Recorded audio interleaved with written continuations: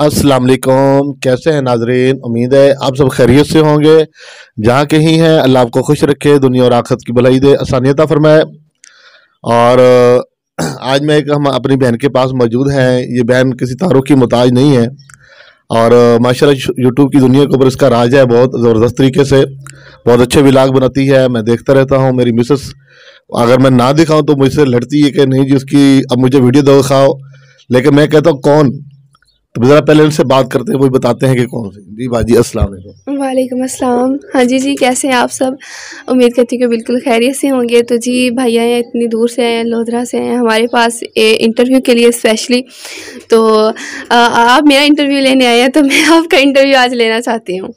जी welcome मैं भी दूँगी आ, सबसे पहले मैं आपसे पूछ लूँ कुछ सवाल क्योंकि मैंने आप आए हैं एकदम से इंटरव्यू स्टार्ट कर दिया तो मैंने कुछ भी नहीं पूछा। तो मैंने आपके भी आपका भी चैनल विज़िट किया माशाल्लाह। तो आपसे गुजारिश है सदका जारी समझ कर सवाब की खातर अल्लाह की रजा की खातर हमारी वीडियो भी पूरी देखें चैनल को ज़रूर सब्सक्राइब करें आपकी मेहरबानी होगी। नाजरीन आप जो इंटरव्यू देख रहे हैं अलीज़ा बहन का मैं उनका इंटरव्यू जो ले रहा हूँ आपकी मेहरबानी होगी उसको पूरा देखना है सुनना है। और आखिर तक ये इंटरव्यू इंशाल्लाह जारी रहेगा। मैं थोड़ा सा बीच में क्लिप अपना डाल रहा हूँ, क्योंकि मैंने उसमें जो ज़िक्र किया है कि मेरी दोनों टांगे नहीं है, दोनों हाथ आप देख रहे हैं, ये मौजूद हैं, आपके सामने नहीं है। और मेरी मिसेस स्पेशल पर्सन, ये बोल भी नहीं सकती, सुन भी नहीं सकती, गूँगी भी है, बहरी भी है, लेकिन अल्लाह के फजल से माशाल्लाह माशाल्लाह बहुत समझदार, बहुत जहीन उशार है। आप सलाम करो, दुआ दुआ करो। आपने सुन लिया, दुआएँ कर रही है।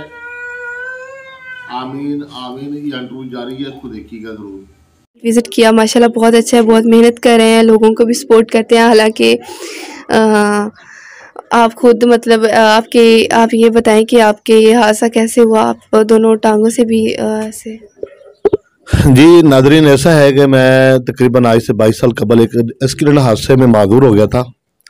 और बात यह है कि मैं ना उस वक्त को मैं दोबारा दोहराना नहीं चाहता, दुख होता है, तकलीफ़ होती है, बस यही एक कि एक्सीडेंट हुआ उस हादसे से मजदूर हो गया।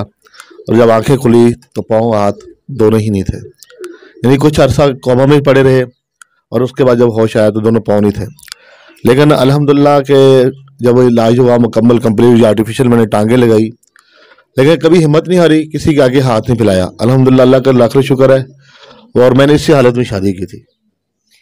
और ये जो आपके टांगे ये लगी हैं आर्टिफिशियल ये कब लगवाई थी? कितने सालों बाद लगवाई थी? और इतने सालों बाद आप, वो इतने मतलब इतने अरसे बाद आपने वो कैसे मतलब गुजारा किया कैसे?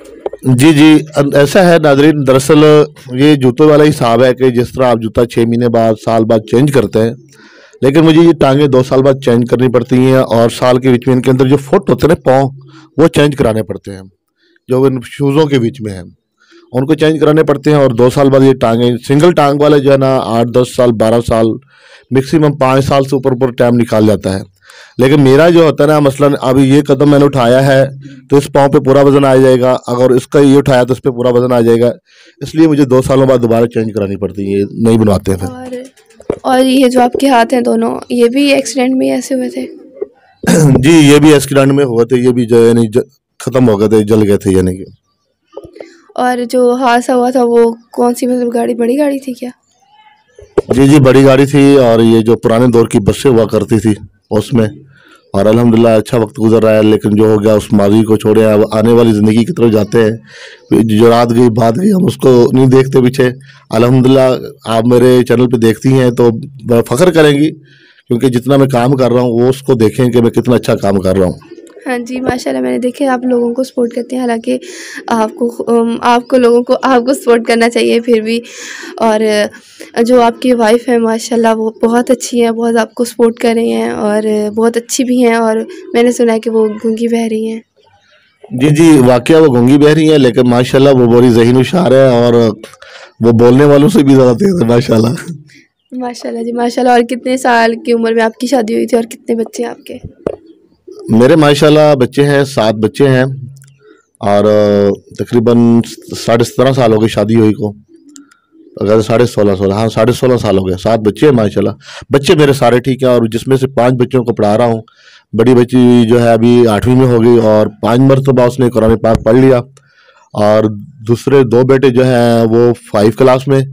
और एक ने दो मरतबा कुरान पाक मुकम्मल कर लिया और एक अभी नादरा पढ़ रहा है और बाकी दो बच्चियाँ भी पढ़ रही हैं दो बिल्कुल छोटे हैं उनको भी इंशाल्लाह जब वक्त आएगा पढ़ाने के काबिल होंगे तो पढ़ाएंगे माशाल्लाह जी माशाल्लाह और सुनाए कैसी मुश्किलात पेश आती हैं आपको अ, ऐसी मतलब ਪਹਿਲਾਂ ਤੋਂ ਮਜ਼ਦੂਰ ਉਹਦੇ ਬਾਵਜੂਦ ਆਦਾ ਕੰਮ ਕਰਨ ਡਏ ਆ माशाल्लाह ਤੇ ਲੇਕਿਨ ਇਹ ਆ ਵੀ ਅੱਲਾ ਨੇ ਜ਼ਿੰਦਗੀ ਦਿੱਤੀ ਆ ਤਾਂ ਬਸਰ ਕਰਨੀ ਚਾਹੀਦੀ ਆ ਰੋਜ਼ੀ ਵੀ ਰੱਬ ਦੇਣ ਵਾਲਾ ਹੁੰਦਾ ਵਾ ਅਗਰ ਪੈਦਾ मैं ਕੀਤਾ तो ਵਾ। तो डंटू ही नोट कर रहे हैं जी कोई तो मसला नहीं यहाँ पे है। पैगाम देना चाहते हैं तो बता- दुनिया को बताएं मेरी जिंदगी एक मिसाल है ਹਾਂਜੀ ਮਾਸ਼ਾਅੱਲਾ ਇਹ ਆ ਕਿ ਕੋਈ ਵੀ ਕੰਮ ਆ ਉਹਦੇ ਵਾਸਤੇ ਮਿਹਨਤ ਕੀਤੀ ਜਾਂਦੀ ਆ ਤੇ ਅੱਲਾਹ ਤਾਲਾ ਉਹਦਾ ਫਲ ਜ਼ਰੂਰ ਦਿੰਦਾ ਵਾ ਤੇ ਕਾਮਯਾਬੀ ਜਿਹੜੀ ਉਹ ਬੰਦਾ ਕਵੇ ਕਿ ਕੁਝ ਦਿਨਾਂ 'ਚ ਹੀ ਮਿਲ ਜਵੇ ਇੱਕ ਬੱਚਾ ਹੀ ਆ ਉਹ ਤਕਰੀਬਨ ਸ਼ੁਰੂ ਤੋਂ ਪਹਿਲੀ ਕਲਾਸ ਤੋਂ ਸ਼ੁਰੂ ਕਰਕੇ 10ਵੀਂ ਤੱਕ ਪੜ੍ਹਦਾ ਉਸ ਤੋਂ ਬਾਅਦ ਉਹਦੀ ਕਾਮਯਾਬੀ ਦਾ ਹੁੰਦਾ ਕਿ ਉਹ ਕਾਮਯਾਬ ਹੋਏਗਾ ਤੇ ਕਿਸੇ ਨਾ ਕਿਸੇ ਕੰਮ ਤੇ ਲੱਗੇਗਾ ਤੇ ਫਿਰ ਉਹ ਵਾਲਦਿਆਂ ਦਾ ਸਹਾਰਾ ਬਣੇਗਾ ਤੇ ਇਸੇ ਤਰ੍ਹਾਂ ਇਹ ਆ YouTube ਦਾ ਸਿਲਸਿਲਾ ਵੀ ਇਸੇ ਤਰ੍ਹਾਂ ਹੀ ਆ ਵੀ ਤੁਸੀਂ ਮਿਹਨਤ ਕਰੋ